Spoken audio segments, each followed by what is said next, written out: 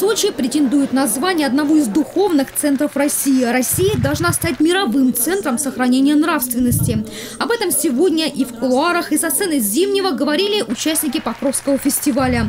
Наш город стал площадкой для обсуждения духовно-нравственной культуры страны.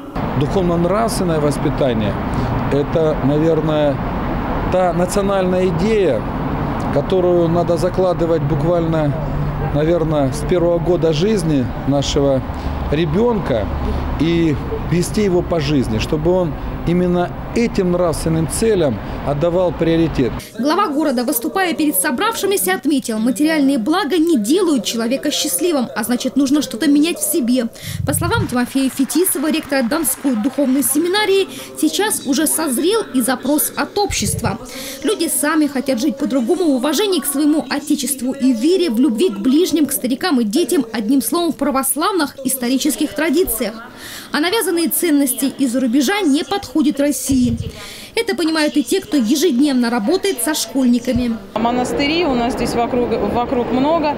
И монастырей, и церквей, и тренерский состав считает тоже необходимым и важным а, линию эту поддерживать в общении с детьми, потому что это наше поколение а, молодое, это наша надежда. Как, как, э, какими мы их воспитаем, таки, такими они и будут во взрослой жизни. Такая будет страна и такое будет общество. Получился достаточно откровенный разговор о совести, о духовности. Все, что утрачено утрачено за последние десятилетия, будет возвращено, считают участники Покровского фестиваля. Более того, есть что показать иностранным гостям, ведь, как известно, издавна Северный Кавказ для гонимых христиан служил своего рода убежищем.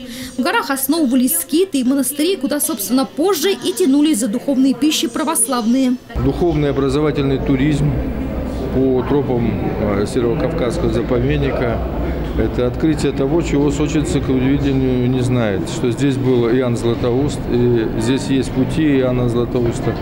И по этому пути, конечно, можно пройти и получить действительно был, это, это является смысловым, э, э, смысловым главным центром паломничества и даже проведения крестного хода. Вот. Соборное единомыслие во время организации форума «Покров» привело к новой инициативе. Сочи может стать духовным нравственным просветительским центром, а для жителей курорта еще и площадкой, где демонстрируются фильмы лауреаты фестиваля «Свет лучезарного ангела», конкурсы короткометражных лент «Пока не святые» и детских кинопритч «Мы сами снимаем кино», выставки выставки православной литературы и народного творчества. Елена Овсецина, Демид Даниловский, телекомпания «ФКТ».